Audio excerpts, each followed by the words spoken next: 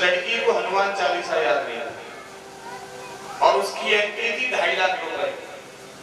अब जो ढाई लाख रुपए में भजन करने के लिए, भजन सुनाने के लिए आ रही है, उसे हनुमान चालीसा तक याद नहीं। इस कलयुग में, इस कलयुग में जिसको हनुमान चालीसा नहीं याद है, वो हमारी नज़रों में सच्चा हिंदू नहीं है। सच्चा हिंदू नहीं है साहब इसे हनुमान चालीसा याद नहीं हमें तो सौ दो सौ नौजवानी चौपाई तक याद होगी, चालीसा तो छोड़ो साहब सौ दो सौ चौपाई याद होंगी कई आरतियाँ याद होंगी इस कलयुग में ऐसा हो रहा है। आप सभी कोशिश करें। देखिए, सबसे बड़ा हम लोगों के लिए, सनातनियों के लिए क्या काम है? आप पूजा बिल्कुल नहीं कर रहे, कोई बात नहीं। लेकिन अगर आप नशा कर रहे हैं ना तो बहुत गलत काम कर रहे हैं। नशा पूजा नहीं कर पा रहे हैं, लेकिन काम कर रहे हैं। फिर भी अंदर ही अंदर भगवान का भजन चल रहा है, प्रभु की याद कर ले कितना ही भजन बहुत है। और जो नशा करने के बाद बड़े बड़े रामलीला करा रहे बड़ी बड़ी भागवतें करा रहे हैं, फिर भी नशा कर रहे हैं तो कोई फल मिलने वाला? जब आप शरीफपुर से आते हैं तो गाँव पड़ता है। शरीफपुर से आए होंगे तो गाँव पड़ता है रास्ते में। वो राजपूत लोगों का गाँव था। एक शराब पीने वाले ने भागवत कराई बहुत गलत काम करता है। आर्मी से रिटायर है, राजेंद्र सिंह फौजी। नाम भी मैं ओपन कर रहा हूँ। उसने भागवत कराई भागवत का तीसरा दिन था, दो लड़के खत्म हो गए। ये क्या हुआ? ये नशा का दंड है। नशा का दंड है। फिर उसके बाद उसका एक्सीडेंट हुआ, एक कान का पता ही नहीं लगा कि कान चला कहाँ गया। कान साफ़ कर दिया। फिर भी आप कह रहे हैं कि हमारा कुछ नहीं बिगाड़ पाया? फिर भी अंदर अहंकार का अहंकार बना रहा। मंदिर में आप जाते हैं, मंदिर के गेट छोटे क्यों लगाए जाते हैं? मंदिर में गेट छोटे क्यों लगाए जाते हैं? मंदिर में गेट सात फुट का क्यों नहीं लगाया जाता? लेकिन आज कई कई लोगों ने धंधा बना लिया, सोचते चढ़ौनी कब चढ़ेगी, छोटा गेट लगाओगे तो। बड़ा सा लगाओ इधर से सीधा घुसे रुपए डाले, उधर से निकले। छोटा मत लगा, बड़ा सा लगाओ चार चार पाँच पाँच एक बार में घुस जाए। हाँ? बड़ी चढ़ौनी चढ़े, बड़ा चढ़ाना चढ़े हाँ? मंदिर का गेट इसीलिए छोटा होता है कि दुनिया के अहंकार करने वाले मंदिर में आओगे तो झुकना तो कम से कम मंदिर में तो झुकोगे, तुम दुनिया में नहीं झुकोगे, लेकिन मंदिर में तो झुकोगे।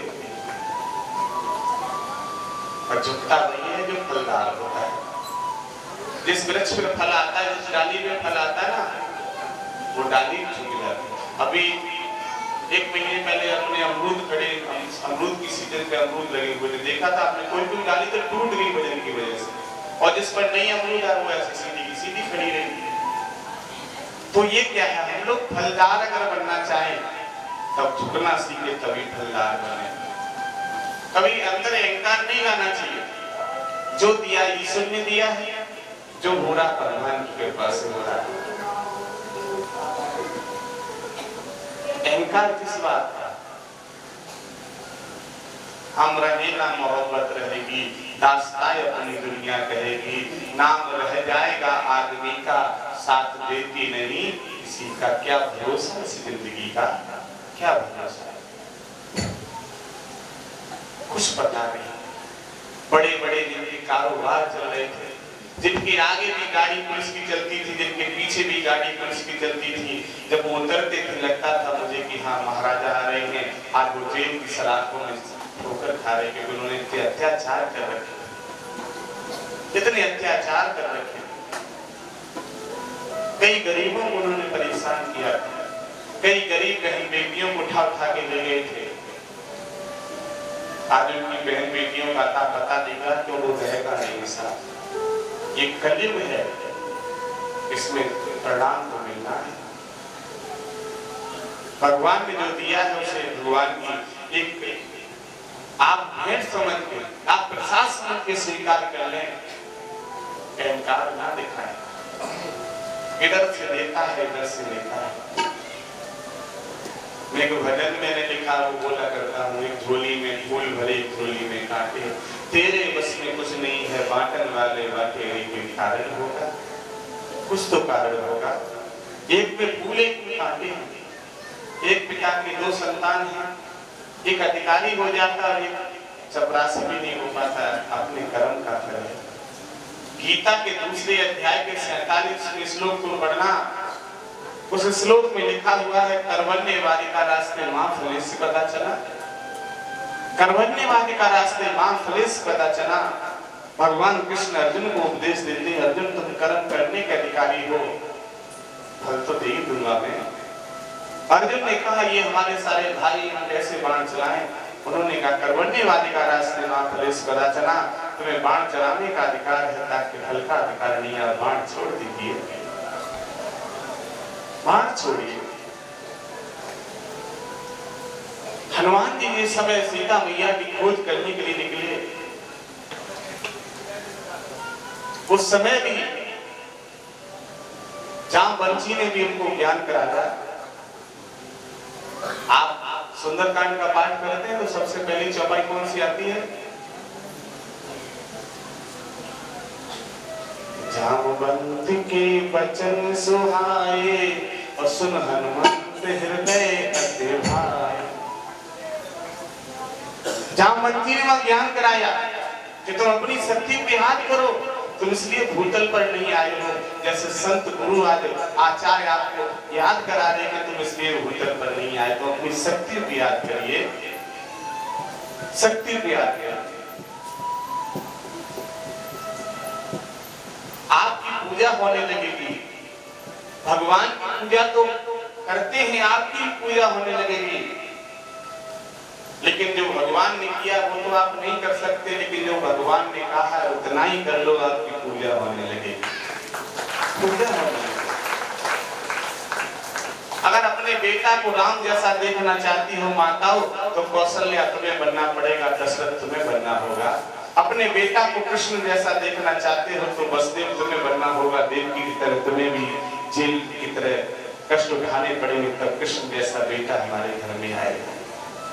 माता पिता को भी कुछ नियम धारण करने होंगे, तब हमारे घर ऐसे पूज्य पिता से भी बड़ा गर्व करते थे, जब सत्संग बोला करते थे तो बहुत कभी कभी तो इतना बोलते थे मुझे खुद इस बात से अंदर से महसूस होता था कि पिताजी कितनी तारीफ़ करते चले जा रहे इस दास बचपन से लेके पूरा जीवन का परिचय सुना दिया करते थे पूज्य पिता से उन्हें गर्व रहता था।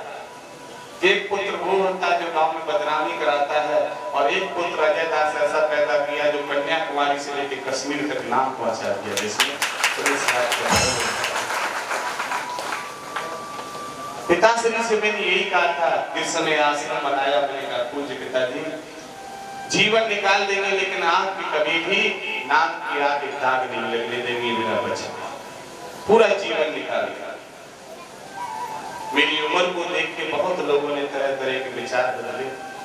बहुत लोगों ने तरह तरह से, यहाँ तक कि कन्या और महिलाओं को दस दस हज़ार रुपए तक दिए गए। घटना शायद गणेशपुरा की है। दस हज़ार रुपए महिला को दिए गए। और कहा तुम महाराज जी को कैप्चर करो। किसी भी तरह से रात्रि में दिन में बात करके महाराज जी की रिकॉर्डिंग वायरल करो। लेकिन हम उस गुरु के शिष्य हैं, जिन गुरु की कभी भी दाग नहीं लगा था तो उस दास के भी दाग नहीं लगा सकता सारा प्रणाम बाद में लोगों ने कहा, महाराज जी, हमसे तो उसने कहलवाया मैं आज भी कहता हूँ, भैया, आप सभी देखिए, आपके रिश्ते में पति, आपके बेटा, आपके भाई कहीं नहीं आपको भेजते लेकिन प्रेम प्राधान सरकार के लिए आज त्योहार, कल त्योहार है ना, इस वजह से त्योहार मनाने के लिए बहुत कम लोग आए ना। लेकिन आप देखते हैं कि केवल भरोसा उन्हें है कि आप जाएँगे वो महाराज जी। उन्होंने महाराज जी को भाई मान रखा है। महाराज जी को आपका पिता मान रखा है, वो आप यहाँ आते हैं लौट हो गया किसी की हिम्मत नहीं है। माँ, जब तक कुल्हाड़ी में लकड़ी का पेट नहीं पड़ेगा, तब तक कुल्हाड़ी की कोई ताकत नहीं है जो लकड़ी काट सके। जब तक माताएँ हमारी अगर किसी भी गैर पुरुष को लिफ्ट नहीं देंगी तब तक वो पुरुष की हिम्मत नहीं है जो आप कभी भी गलत दृष्टि से देख सके। लिफ्ट आप ही दे देती। आप रिश्ता लिमिट पर रखिए और इलॉट होके रहिए। इलॉट आज सत्संग में कहना तो नहीं चाहिए कविता भी आई है साहब इनका बहुत इलॉट पर मैंने इन्हें मीडिया बहुत कैप्चर करती है। राजनीति से जुड़ी हुई है, और इनका पद नहीं बताएँगे आप लोगों को। क्योंकि कुछ सिफारिश वाले बहुत सोचते हैं हमारी सिफारिश को छोड़। तो इन्हें मीडिया बहुत कैप्चर करती है, मैंने इनके बहुत वीडियो वायरल देखे हैं। लेकिन इनकी जो आवाज़ उसमें देखी है, मैंने ना, वो एक, ये मानो कि झांसी की रानी की तरह आवाज़ निकलती है, दमदार आवाज़ निकलनी चाहिए। मैं सबसे कहता हूँ, यहाँ बैठे हुए माताओं एकदम पिलौट करना चाहिए क्योंकि जो आपके सामने भले वर्दी वाला क्यों ना हो जिसके शरीर पर सरकारी वर्दी मिलती है, वो भी किसी माँ ने मिलकर पैदा किया है। अगर वो भी गलत दृष्टि से चाहे उसके अंदर चार स्टार हो, चाहे दस स्टार हो, अगर गलत दृष्टि डालते हैं तो उनके लिए भी आप इलॉट हो जाएँगे इलॉट हो जाएँगे अधिकारियों की पूजा होती है सारे। और किसी किसी अधिकारियों की वीडियो रिकॉर्डिंग वायरल हो रही है करवटने वाले का रास्ते, वो श्लोक वही यहाँ आ रहा है। हम सभी सत्संग से जुड़े थे हमारा विचार क्या है? विचारधारा क्या है? हम क्या सोच के सत्संग में आए हैं? यहाँ आने के बाद भी अगर गंदे विचार हैं, कि साहब पड़ोस वाली दीदी कैसी है, ये कहाँ से ये ये क्या करना है हमें? लगा बैठे लगन तुमसे जो होगा सो देखा जाएगा तुम्हें अपना बना बैठे जो होगा सो